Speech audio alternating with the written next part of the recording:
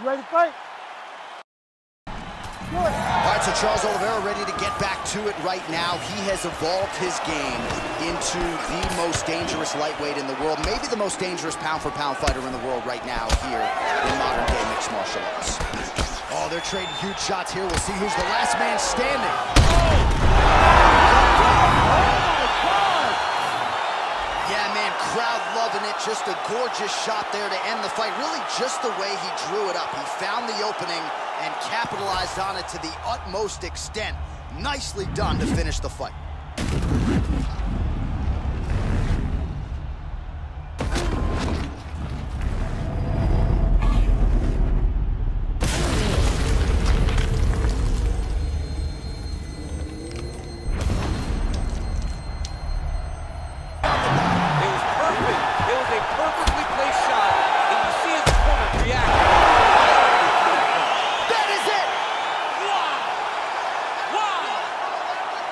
I mean, you gotta be kidding me with that knockout. If that is not the number one play on SportsCenter tonight, I'm not sure what would top it. One of the best knockouts we've seen all year. In a very long time.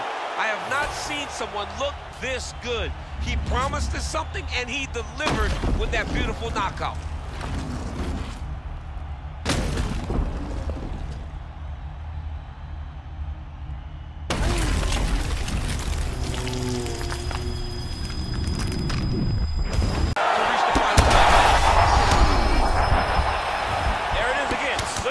Well, shades of Kenny Florian and Sean Sherk back in the day. Oh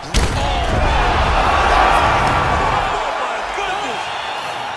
Yeah, that was just a beautiful shot by her there to end the fight. I'm not sure she could have drawn it up any better than it played out here tonight. She lands the seminal blow there midway through the round. I'm not even sure her opponent saw it coming. So big, big knockout win for her here tonight.